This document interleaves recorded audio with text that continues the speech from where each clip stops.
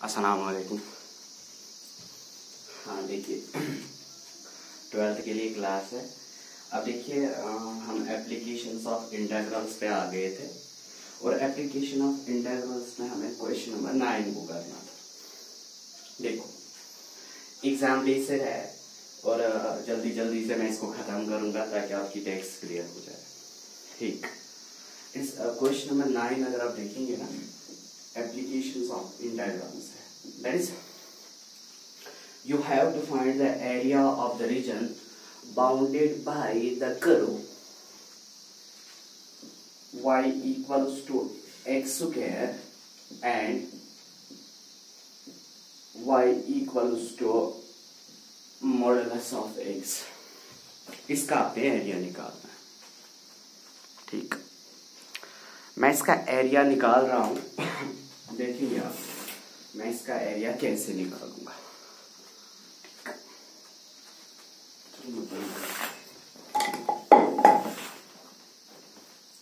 ठीक।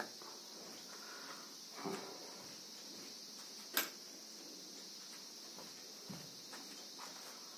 चलो देखेंगे आप। मैं इस क्वेश्चन को कर रहा हूँ और फ़िलहाल आप देखेंगे हाँ। सबसे पहले, इस पैराबोला को देखिए। This parabola is symmetrical along y axis मैं जब इस पैराबोला को बनाऊँगा ना इस साइड में, इस तरह आपका पैराबोला आएगा।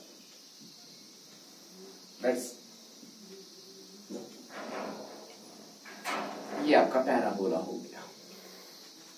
ठीक। This is symmetrical along y axis और इसका वर्टेक्स और ओरिजिन पे होगा। यहाँ पे इसका वर्टेक्स होगा। ठीक। अब मुझे किसको प्लॉट करना है?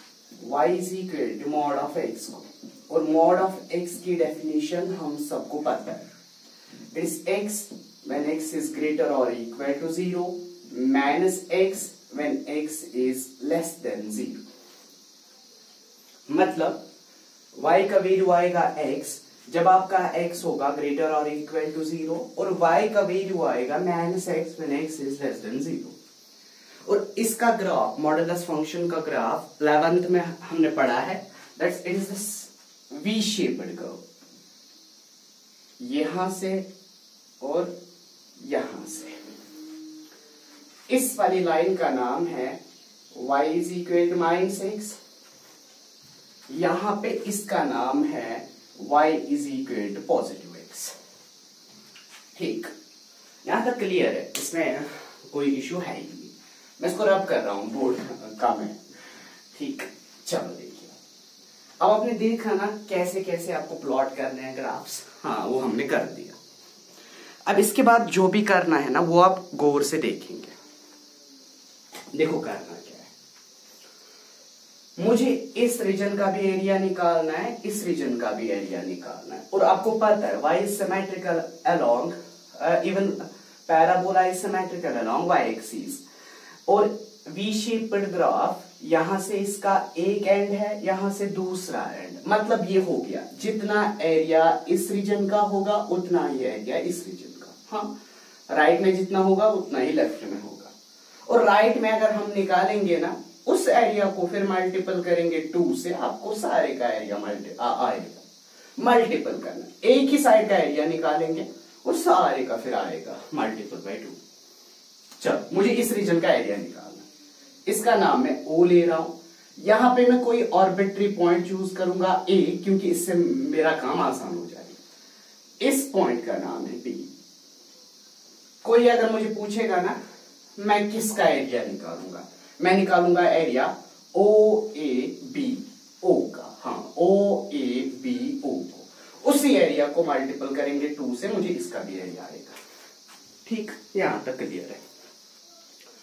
अब देखो, इस रीजन का एरिया मैं डायरेक्टली कैलकुलेट नहीं करूँगा कर पाऊँगा। देखो क्या, यहाँ पे एक करो है।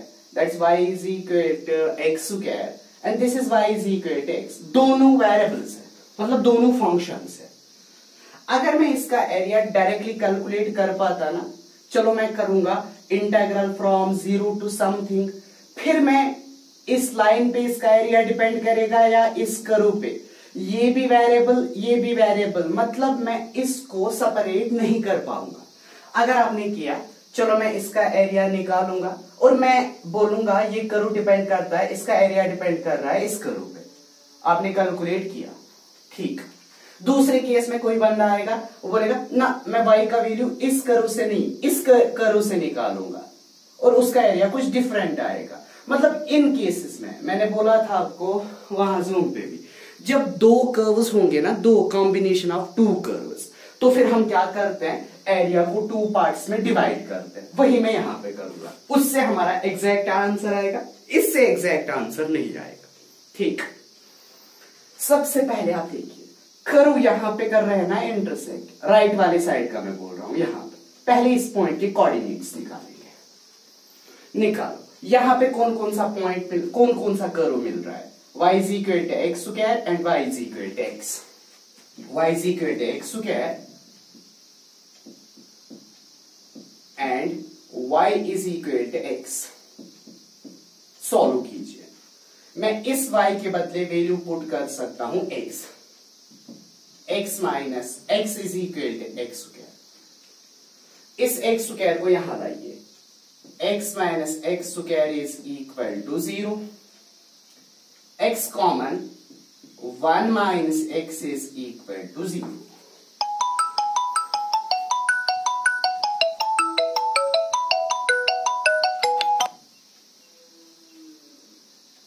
ठीक। अब मैं क्या करूँगा? या तो x ज़ीरो के बराबर होगा और या तो वन माइनस एक्स ज़ीरो के बराबर होगा। x कहाँ पे ज़ीरो के बराबर है? यहाँ पे जहाँ पे ये मिल रहे हैं, मुझे ये वाला पॉइंट नहीं चाहिए। मुझे ये वाला चाहिए जो ओरिजिन से दूर होगा। मतलब इसको रिजेक्ट करेंगे, यहाँ पे आपको आएगा x equals to one being mathematicians आपको पता है कैसे। अब अगर x आ गया वन अब मुझे किसका वैल्यू चाहिए? y का चाहिए ना? y का यहाँ से निकालेंगे। x का वैल्यू यहाँ पे वन कीजिए। y का भी वैल्यू आपका वन आएगा। Means x is one and y is one यहाँ पे इस पॉइंट के कोऑर्डिनेट्स आएँगे वन का वन ठीक। अब मैं क्या करूँगा? इस पॉइंट से परपेंडिकुलर डालूँगा। सी यहाँ पे आप वीडियो को पॉज करेंगे और कॉपी करेंगे। मैं इसको रब कर रहा हूँ। ठीक। अब देखो देखेंगे आप एरिया आसान है, आपको आएगा। देखो। Area of region O A B O equal to area of region पहले देखो किसका निकालूँगा। इसका निकालना है ना, पहले मैं सारे का निकालूँगा। O C B O O C B O minus area of O C B A O ये ए मुझे इसी वक्त काम आएगा ओ सी बी ए ओ ठीक। देखो मतलब। इस पार्ट का एरिया निकालने के लिए पहले सारे पार्ट का एरिया ट्राइंगल का एरिया फिर इस का एरिया मैं सारे एरिया को ये वाला एरिया माइनस कर रहा हूँ, मुझे इसका एरिया मिलेगा। ठीक? देखो। जो मैंने सारा लिया ना ओ सी बी ओ इसका देखिए। इसमें O C x axis constant है। सी बी परपेंडिकुलर कॉन्स्टेंट है। इसमें जो कर्व आता है ना दैट इज़ ये वाला। O B that is y is equal to x मतलब इसमें वेरिएबल करो, खाली ये आ रहा है। बाकी ये भी कॉन्स्टेंट और ये भी कॉन्स्टेंट दूसरे केस में देखिए। इस नीचे वाले केस में। यह है ओ सी बी ए ओ इसमें O C constant C B constant ये डिपेंड करेगा इस आर्क पे, इस आर्क पे। इस कर्व पे। And this curve is y is equal to x square मतलब सेपरेट हो गया। अभी जब मैंने डायरेक्ट बोला था ना, इसमें वो इस पे भी डिपेंड कर रहा था, इस पे भी। लेकिन जब मैंने इसको ब्रेक किया ना टू पार्ट्स में, अब एक लाइन मतलब एक रीजन एक करू पे डिपेंड कर रहा है, दूसरा रीजन दूसरे करू पे डिपेंड कर रहा है। दैट्स द फंडा इसमें यही करना है। हाँ चलो। अब देखेंगे आप इसके बाद ये आपको पता है। हाँ मैं कंटिन्यू यहाँ से। किसका एरिया निकालना area of O C B O O C B O मतलब यहाँ से लेकर यहाँ तक। यहाँ पे x का कोऑर्डिनेट क्या है? इस ज़ीरो कामा ज़ीरो यहाँ पे क्या होगा? वन कामा ज़ीरो क्योंकि यहाँ पे x का वैल्यू वन आएगा, y इस एक्सिस पे ज़ीरो होता है। मीन्स ये आएगा zero to one integral zero to one y d x. आया समझ कैसे? सिट्रिप्स आपको पता है। सिट्रिप्स कहाँ से बनाना है? एक्स एक्सिस की ओर से। हो गया। लेकिन ये वैल्यू किस पे डिपेंड करेगा? आपको पता है it depends upon this line means it depends upon line आपकी याद के लिए मैं रख रहा हूँ एल यहाँ पे मैंने लिखा है मतलब यहाँ से अगर आपको y का वैल्यू निकालना है तो फिर y का वैल्यू निकालिए लाइन में से। That line is y is equal to x minus मुझे करना है। इस पार्ट का एरिया इस पार्ट का एरिया मुझे माइनस करना है। ये भी रेंज कहाँ से कहाँ तक होगा? ज़ीरो से लेकर वन तक होगा। और इस पे भी क्या आएगा? वाई डी एक्स लेकिन ये वाई किस पे डिपेंड करेगा? It depends upon the parabola खत्म। L means line P means parabola line का मतलब वाई का वैल्यू लाइन से निकालिए पी का मतलब वाई का वैल्यू पैराबोला से निकालिए। चलिए। It's integral zero to one line से y का वैल्यू निकालिए। Y is equal to x मतलब y का वैल्यू लाइन में x है। Dx minus zero to one parabola से y का वैल्यू निकालिए। Y का वैल्यू वहाँ पे आ रहा है, x क्या है? ठीक। कीजिए इंटीग्रेशन जो आपको आती है।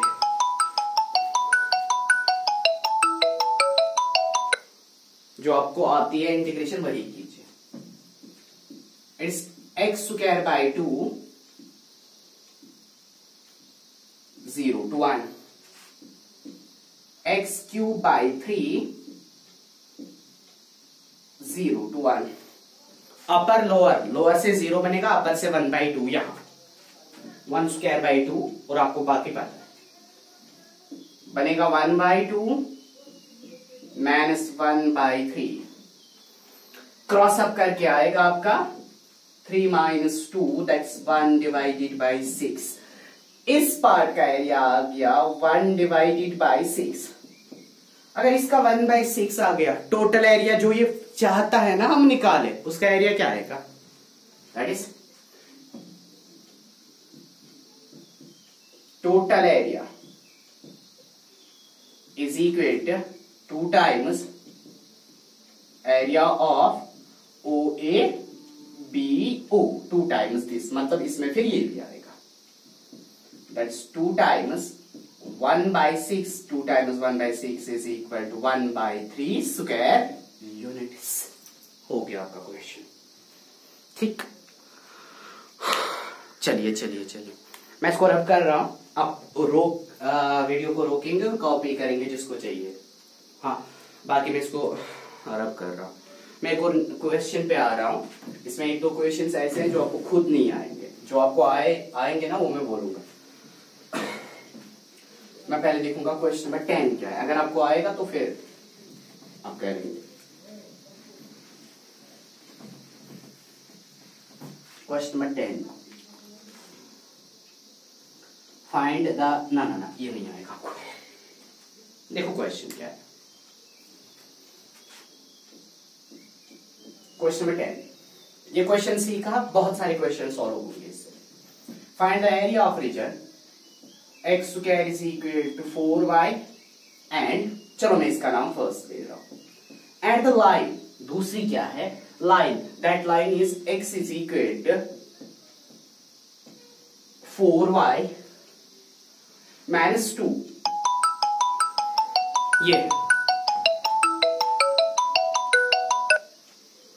four y minus two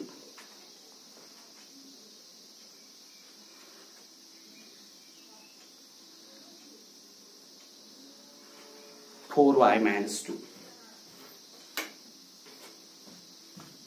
four y minus two ना ज़्यादा डार्क आ है फोर वाई माइनस टू ठीक। चलो इंक इसमें कम है, आज मैं एक लाऊँगा। इसलिए थोड़ा सा ये आ रहा है डाक आ रहा है। लेकिन आप बर्दाश्त करेंगे एक दो दिन हाँ। चलो ये आज का दिन देख रहे क्या इस और इस कर्व के कॉमन रीजन का एरिया निकालना है। मतलब वो रीजन जो ये करू और ये करू बाउंड करते हैं, उसका मुझे एरिया निकालना है। सबसे पहले आप ये देखिए। Is parabola symmetrical along y axis and this is the straight line मैं पहले इस पैराबोला और इस स्ट्रेट लाइन का ग्राफ ड्रा करूँगा। फिर मैं बोलूँगा कॉमन रीजन कौन सा होगा और उस कॉमन रीजन का एरिया हम कैसे निकालेंगे? ठीक? देखिए देखिए आप। सबसे पहले क्या करेंगे? लाइन और पैराबोला ड्रा करने के लिए, आपको पता है लाइन और पैराबोला ज़रूरी कहीं ना कहीं पे मिलेंगे। पहले मैं देखूँगा, इनके कॉमन पॉइंट्स कहाँ कहाँ पे होंगे। वही मैं देखूँगा पहले। उसके लिए मैं क्या करूँगा? इसको मैंने फ़र्स्ट नाम दिया ना, इसका नाम दे रहा हूँ second put second in first मतलब पहले मैं देखूँगा, ये करूँ और ये करूँ, किस पॉइंट पे इंटरसेक्ट करेंगे। अब मैं ना ऐसा नहीं कर सकता कि मैं ओरिजिनल करूँ ड्रा करूँ। वैसा हम नहीं करते। हम शॉर्ट में ऑर्बिट्री कर्व्स ड्रा करते हैं, उससे फिर हमें पता चलता है हाँ हमें करना क्या है। वो मैं दिखाऊँगा ना, अब देखिए। एक्स स्क्र यहाँ पे है ना। फोर वाई फोर वाई के बदले क्या आएगा? ये टू यहाँ आएगा ना, बनेगा एक्स प्लस टू ठीक। फोर वाई फोर वाई का वैल्यू यहाँ से निकालिए। इसको यहाँ शिफ्ट कीजिए। दैट इज़ फोर वाई यहाँ पे भी four y means right hand side equal left भी इक्वल आ आएँगे इसको यहाँ लाओ। X square minus x minus two is equal to zero quadratic है ना? मिडिल टर्म सप्लेट कीजिए। मिडिल टर्म अगर आप सप्लेट करेंगे ना, आपको पता है करना क्या दैट्स कुछ इस तरह आएगा। X square minus two x plus x minus two is equal to zero हो गया x common x minus two plus one common x minus two equals to zero x minus two x plus one equal to zero यहाँ से x का value क्या आएगा? Positive to यहाँ से x का वैल्यू क्या आएगा? नेगेटिव वन ठीक? Positive two and negative one, ठीक? चलो देखिए। जब मैं एक्स का वैल्यू लूँगा ना, पॉजिटिव टू, उस वक्त देखो वाई का वैल्यू क्या आएगा।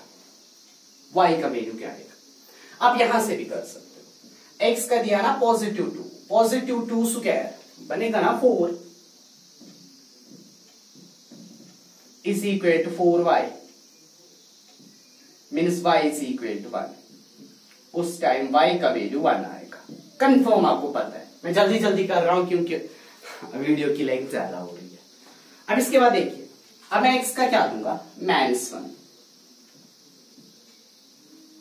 जब मैं यहाँ पे एक्स का माइनस वन दूँगा माइनस वन स्क्वायर बनेगा पॉजिटिव वन वाई का वैल्यू आएगा ना वन बाई फोर बस, निकाले आपने। हो गया काम। देखो कैसे देखिए देखिए देखिए देखिए। हो गया ना यहाँ तक? मतलब आपको अब यहाँ तक निकालना आएगा सॉल्व करना आएगा। देखिए, मैं ऊपर ड्रा करूँगा। This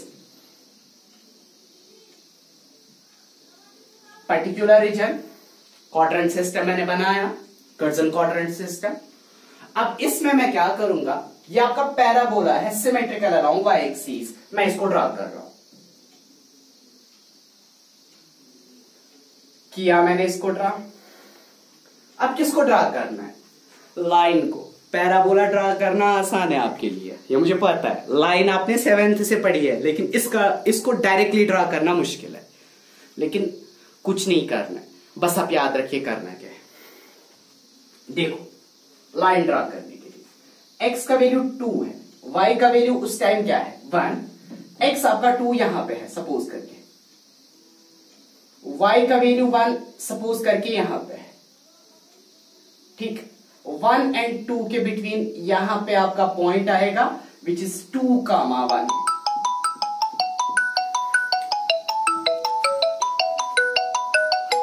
two comma one ठीक? हो गया? दूसरा है, जब आपका x क्या है? माइनस वन चलो मैं x का माइनस वन यहाँ पे ले रहा हूँ। ऑर्बिट्री डायरेक्टली मैं नहीं कर रहा हूँ। यहाँ पे आपका माइनस वन है x y का वैल्यू क्या है? One by four one by four is zero point two five zero point two five लगभग यहाँ पे आएगा। मतलब ये वाला पॉइंट मिलेगा एटलीस्ट आप मानो यहाँ पे पॉइंट मिलेगा this point is minus one comma one by four एक पॉइंट पैराबोला पे यहाँ पे आ रहा है। दूसरा पॉइंट यहाँ पे आ रहा है। इनके बिटवीन लाइन ड्रा कीजिए। दैट इज़ द लाइन वही लाइन है।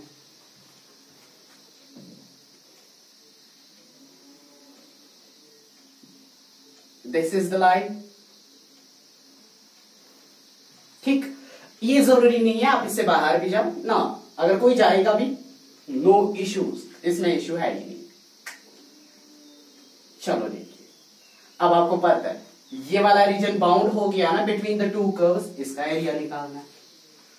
पहले इसका नाम देंगे। यहाँ पे ए यहाँ पे ओ यहाँ पे बी और यहाँ पे रखेंगे सी ठीक? किस रीजन का एरिया निकालना है? ए ओ बी सी एक। लेकिन आपको पता है, दो कर्व्स है। डायरेक्टली नहीं हो सकता। अगर डायरेक्टली नहीं हो सकता तो फिर क्या करना है? यहाँ से भी परपेंडिकुलर यहाँ से भी परपेंडिकुलर निकाल रहा हूँ, मैं कर रहा हूँ, मैं कर रहा हूँ। देखो। ये आप कॉपी करेंगे, ठीक? चलो मैं इसको रब कर सकता हूँ। मुझे नहीं चाहिए। हाँ यहाँ से परपेंडिकुलर चलो यहाँ पे है A C x is minus one B D x is two and यहाँ पे पॉइंट है डी किसका एरिया चाहिए? देखो किसका एरिया चाहिए। Area of A O B C A is equal इसका एरिया